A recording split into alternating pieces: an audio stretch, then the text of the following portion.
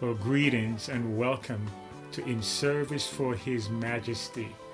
The title for today's message is Empty the Trash. Let's pray. Father, we come to you in the mighty name of the Lord Jesus Christ. We thank you for who you are. We thank you for your word that we're going to get into. We thank you for your Holy Spirit that you have sent to be our teacher and our guide. We trust him today in Jesus' name we pray. Amen. Empty the trash. You know, this message came to me when I was thinking one day of um, uh, my laptop or computer. Every now and again, you know, you're moving files around and you're doing different things and, and stuff that you don't need, you put it into your trash. And but after a while, you need to empty that trash because it takes up a lot of the memory of your computer or, or, laptop. And I thought about that in regards to us, you and I as believers, that we need to empty the trash. And that trash, not necessarily, I'm not talking about sin now. I'm talking about things that may, that we come to um, as we go through life. Because remember, there are three things that we have to deal with the devil, the world and our flesh. And, and it's an ongoing thing. Thank God for the power of the Holy Spirit. Thank God for the Lord Jesus Christ that rules and reigns in our lives and gives us the power to be an overcomer. But we still have to deal with these things. Remember, Paul uh, mentioned um, uh, about putting on the whole armor of God. Why? Because we're in a battle. But our battle is not with flesh and blood, it's against principalities um, spiritual wickedness, the scripture said, in high places. So we need to be prepared. Just like in a natural army, people, uh, the soldier needs to be prepared, have his gun, his weapon ready, and his armor ready. We also, as believers, and we need to deal with areas in our life. It may be something as simple as um, some things that were said to you when you were young growing up that it's just there. Maybe some things that um, that your parents said when you were a child that was negative or some uh, somebody else. Could be at school some things that maybe they were calling you names you know for for for years and just branded you with that name and it's in the trash. And now that you're a, a christian you're a believer every now and again that thing still bothers you.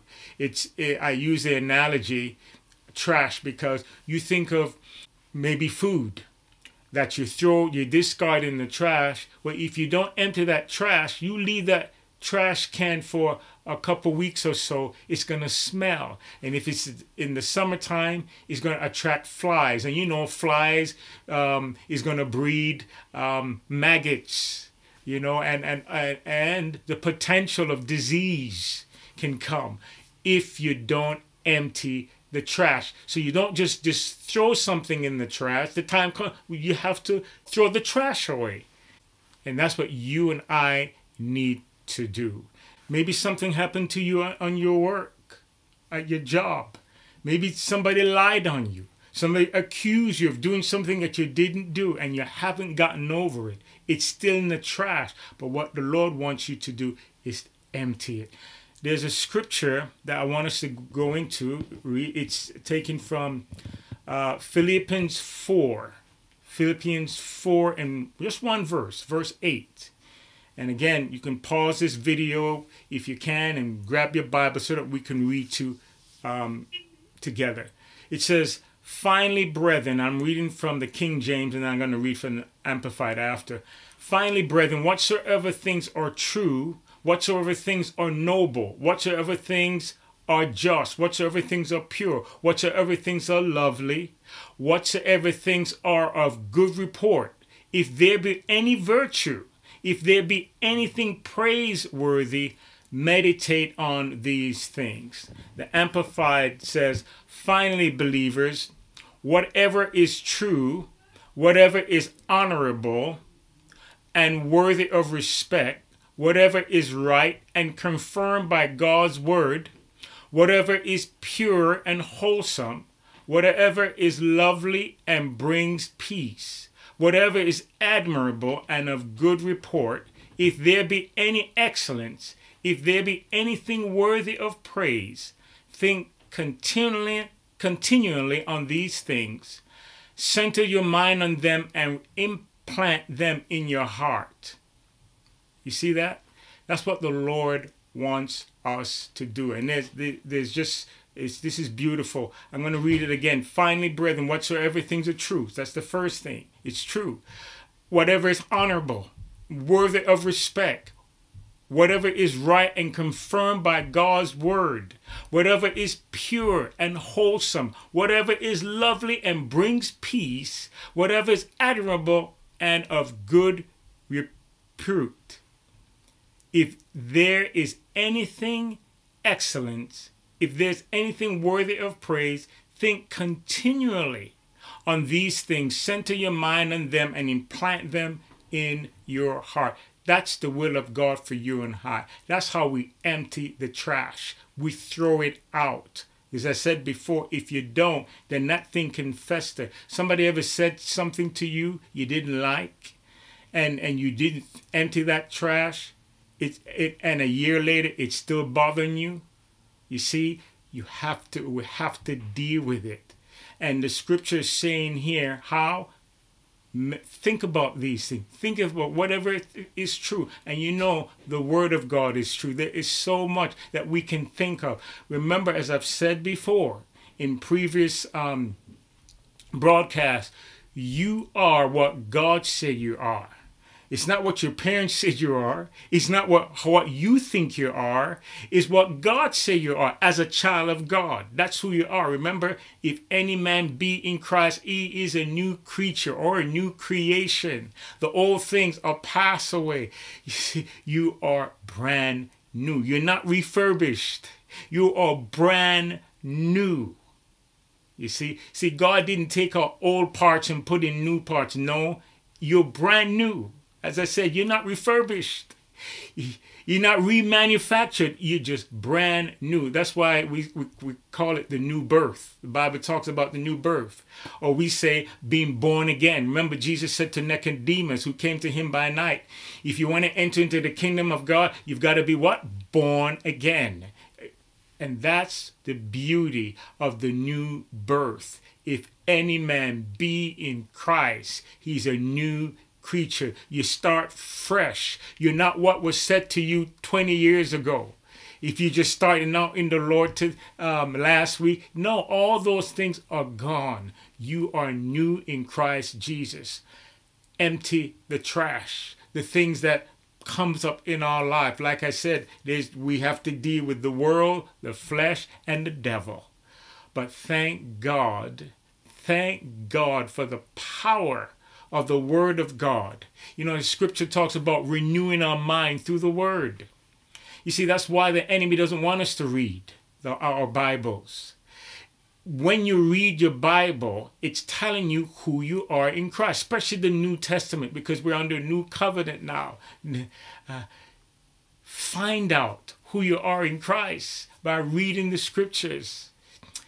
Remember, there's another one. The scripture talks about um, the our heart, God pouring out that love in our heart by the Holy Spirit. It's been uh, His love has been shed abroad in our heart by the Holy Spirit, so we can love the unlovable.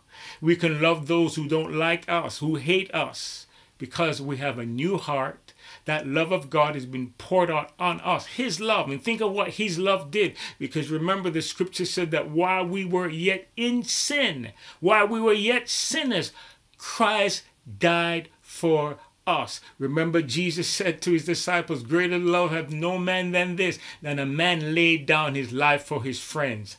And Jesus did it and even took it even further because we were enemies. We, we were enemies of the Lord and when, when Christ died for us.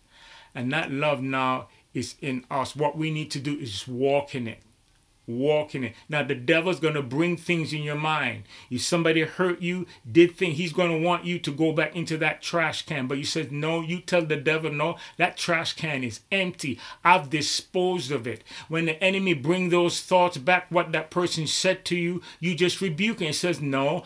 I'm a new creature in Christ Jesus. I love that person. You see, that's what you do. That's how you deal with it, and just keep yourself keep that mind clean, unspotted through the Word of God. We're going to end, but I want to read that verse 8 again. It says, Finally, believers, whatever is true, whatever is honorable, whatever is respect, whatever is right and confirmed by God's Word, whatever is pure, wholesome, whatever is lovely and brings peace. Oh, thank God for his peace. Whatever is admirable and good repute. If there is any excellence, if there is anything worthy of praise, think continually. Notice it says continually, not once in a while, continually think on these things. You will notice as you draw closer to the Lord, your mind will be more on the things of God. And I'm not saying necessarily that you're always thinking about heaven. I remember somebody said, a preacher said many years ago, that we have to be so we have to be careful as Christians, lest we become so heavenly minded, we're no earthly good. Remember, we got a job on the earth. Yes, thank God we're going to go to heaven one day. But we ha- while we're here in this life, God has given us, you and I, a job to do. There's sinners, there's that don't know the Lord. You know that He's put us here to preach the gospel. You don't have to be a preacher to preach, but just tell the good news. Could be to your neighbor or ask God, Lord, use me today. When you wake up in the morning, Lord, use me today. Put somebody in my path today that I can talk to them about you. That's something good to think about. And don't don't let the enemy put those things, those hurt, keep bring them back to you. Said, no, it's gone. I don't deal with that anymore. You ever think too, think of how many times when we didn't know the Lord, when we hurt God, when we were offending him, but he forgave us. You also forgive. Empty that trash. Empty. Throw it away. Don't put it away in some corner, you know, because it's still going to smell. If you have a waste paper basket or trash can in your house, you don't take the uh, trash out that the, of the basket or uh, of or whatever you put that container in the garbage container you don't take that trash out and put it somewhere in your house. No you throw it outside. You discard of it. You don't want it in your house. How much more you and I, as human beings, as children of God, you don't want the junk, the waste that the enemy would throw at us. You don't want it in your life. Throw the empty the trash. Don't just throw it in the trash. Empty the trash. Away with it.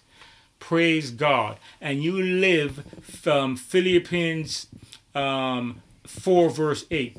Uh, there's one more scripture. I forgot about this that I want to share, and then we'll close. Second Corinthians 7, verse 1.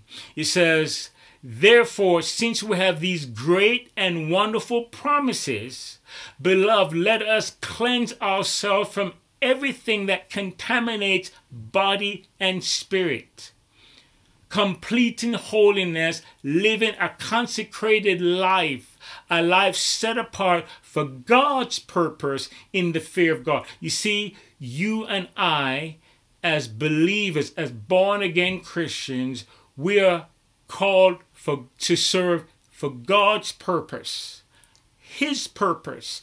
Let us live like that each and every day. Wake up with the mindset, okay, Lord, here I am. What will thou have me to do? Have that mentality. In the name of Jesus, let's pray. Father, we come to you again. We thank you for your word. Oh Lord, we thank you for your precious, holy, written word that we can rely on, we can rest in, because we know, Lord, your word is true. And you, you said to us today. You list made a list of things of what you said, whatever things are true. Finally, brethren, whatever is true, whatever is honorable, worthy of respect, worthy of right, and confirmed by your word, and so on. You said dear Lord, if there be any virtue, any praise, think on these things. Help us, dear Lord, to empty the trash all the junk this enemy has put in our life, dear Lord, that's just been sitting there to empty it right now in the name of Jesus. And think on these good things. Think on your praise. Think on your love. Oh Lord, think of how when we didn't know you, oh Lord, uh, the the lack of peace that we had in our life, but but the peace that we have now. These are things that we can think of and think of how grateful we are to you. Those are the things that you want us to think of, dear Lord. Help us to do that in Jesus' name.